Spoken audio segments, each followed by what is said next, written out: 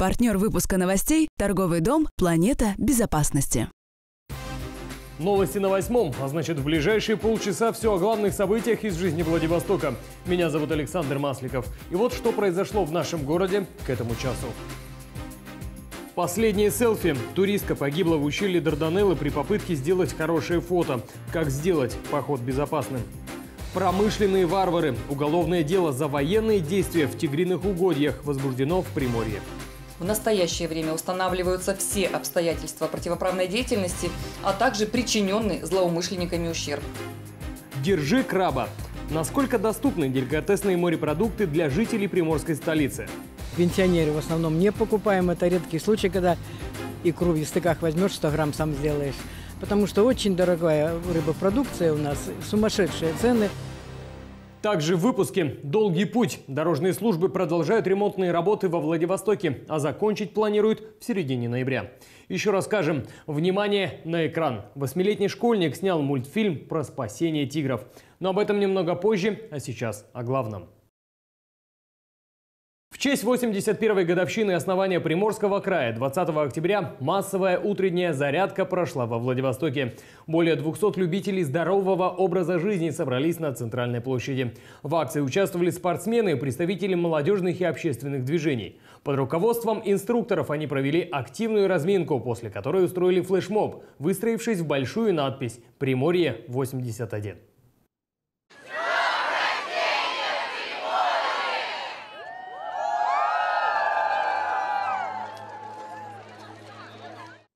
А еще жители Приморья в субботу, 19 октября, стали участниками масштабного события – Всероссийского дня ходьбы. С праздником спорта, приурочено к 81-й годовщине основания края, профессионалов и любителей поздравил губернатор региона Олег Кожемяка. По традиции, субботним утром глава региона принял участие в зарядке чемпионов. Пять, шесть, семь, левая нога, О, раз, два, три, четыре, пять, шесть, колени вперед в сторону, поехали! На этот раз к участникам проекта «Приморье за спорт» присоединился и российский космонавт, полковник, герой Российской Федерации Роман Романенко. Спортсмены и любители вместе с губернатором и летчиком-космонавтом размялись перед пешеходными маршрутами. Спортивный праздник проходил под эгидой Олимпийского комитета России в честь подготовки к играм в Токио в 2020 году. Напоминаем, что Приморье выбрано базовой площадкой для подготовки спортсменов многих сборных страны. Именно на приморских стадионах будут тренироваться перед Токийской Олимпиадой. Кроме того, спорт выбирает все больше приморцев. Об этом говорит и активное участие в беговых мероприятиях и в массовых зарядках по субботам, которые проводятся почти во всех городах и районах. Тысячи людей в Приморье сегодня занимаются ходьбой и бегом и йогой. К другим темам. Дорожные службы продолжают ремонтные работы во Владивостоке. На днях подрядчики приступили к укладке первого слоя асфальта на улицу Баревича. На Фонтанной такую работу уже успели завершить. Теперь там меняют плиты перекрытия, а также устанавливают новые люки и решетки инженерных сетей коммуникации. В настоящий момент подрядчикам проведены работы по укладке выравнивающего слоя асфальта и ведутся работы по, подняйку, по, по поднятию люков э, инженерных коммуникаций. После выполнения этих работ э, будет произведено финишное асфальтирование и все инженерные коммуникации, люки, они будут выровнены э, с асфальтовым покрытием. Подобные обновления затрагивают сразу несколько уголков Владивостока. Рабочие асфальтируют тротуары и дороги, а также занимаются ремонтом лестниц, подпорных стен и других объектов городской инфраструктуры. Золотая осень в Приморье – время экскурсий и турпоходов. Однако не каждый пикник на природе заканчивается благополучно. Несчастный случай произошел в ущелье Дарданеллы днем в субботу, 19 октября. Одна из туристок сорвалась со скалы и разбилась насмерть. Подробности вам расскажет Светлана Садовая. Желание сделать селфи оказалось смертельным для жительницы Владивостока. Несчастный случай произошел в ущелье Щеки Дарданеллы, одном из любимых туристических маршрутов фанатов горного туризма. Одна из участниц группы сорвалась со скалы высотой несколько десятков метров. Падение оказалось фатальным. Прибывшие спасатели подняли тело женщины только к вечеру. В Приморском крае 19 октября произошла трагедия. Группа туристов из Владивостока отправилась на экскурсию в ущелье Дарданеллы в Партизанском районе. Это горная долина, которая тянется вдоль реки Тигровой. Одна из участниц похода, 40-летняя жительница Владивостока, хотела сделать красивый кадр, но оступилась и сорвалась с 70-метровой высоты. Ее коллеги, в надежде на то, что женщина еще жива, вызвали сотрудников МЧС России.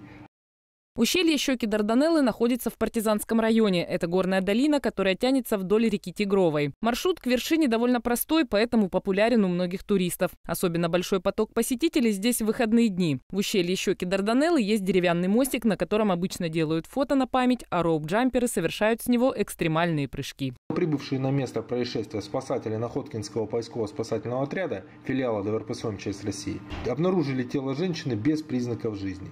Далее спасатели эвакуировали тело на носилках вниз по дороге и передали сотрудникам скорой медицинской помощи, которые констатировали гибель женщины.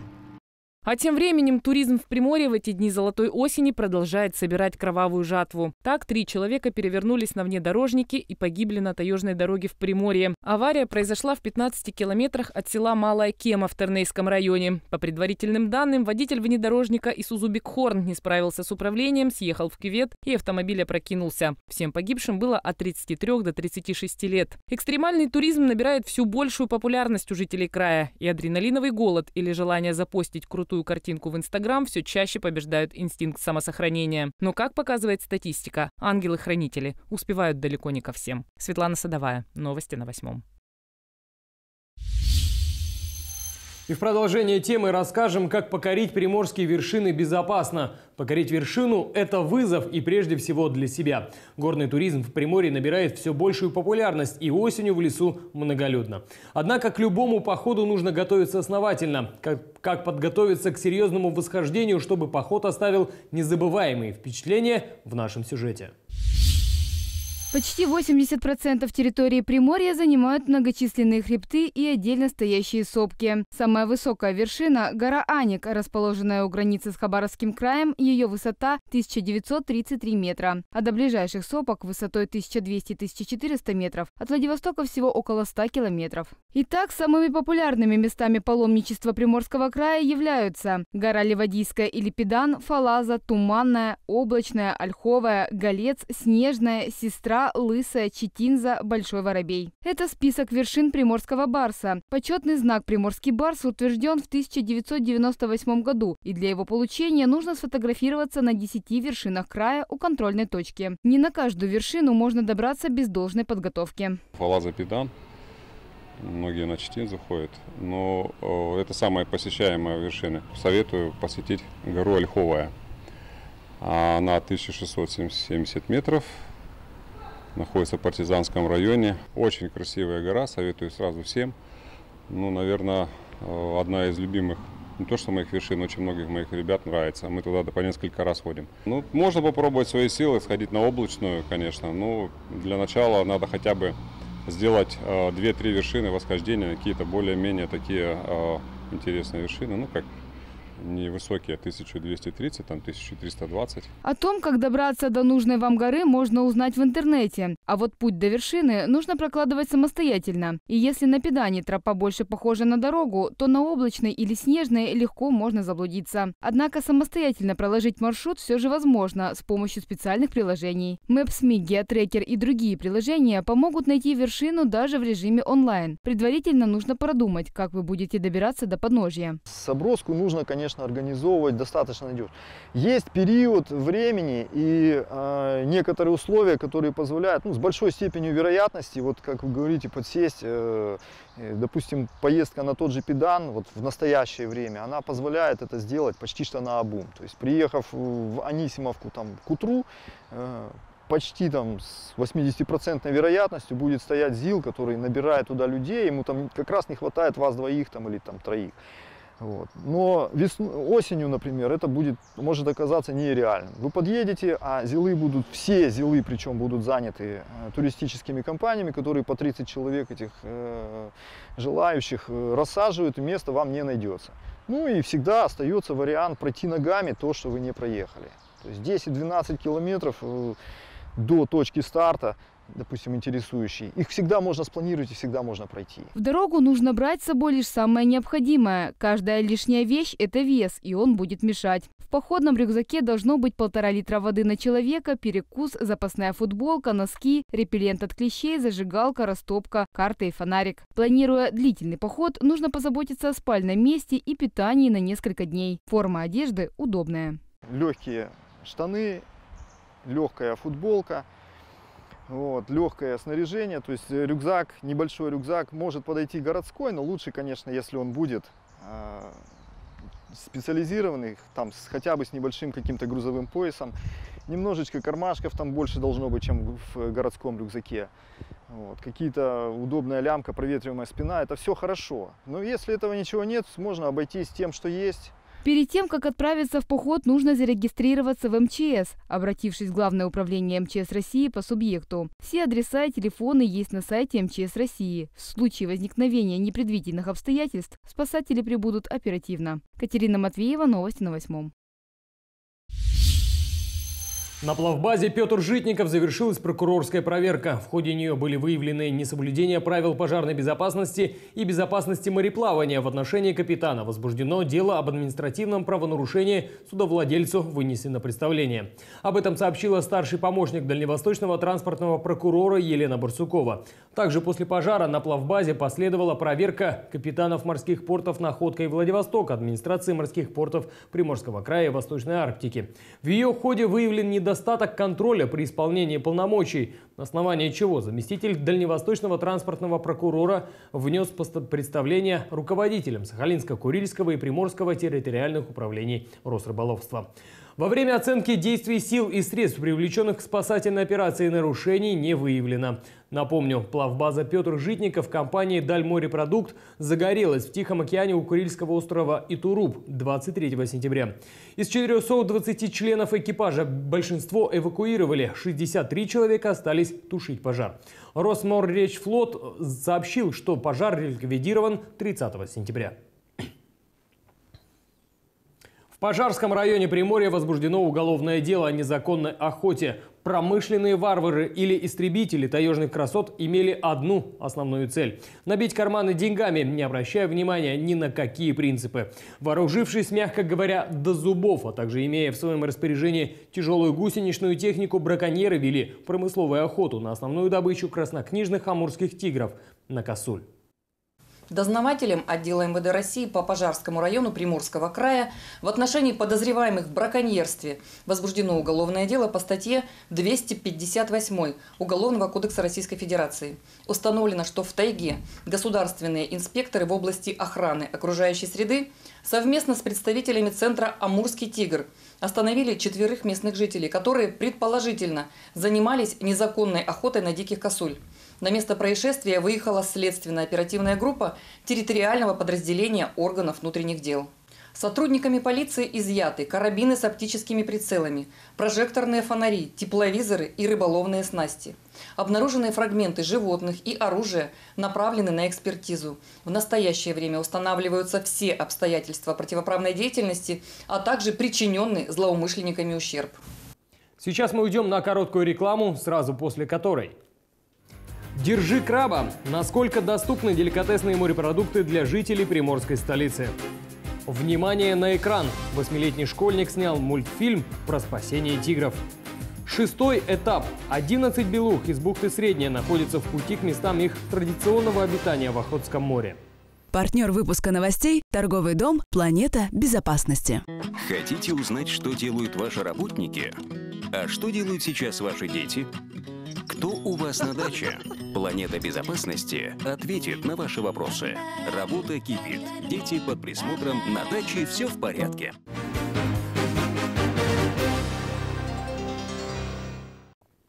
Сегодня с вами я, Александр Масликов, и мы продолжаем.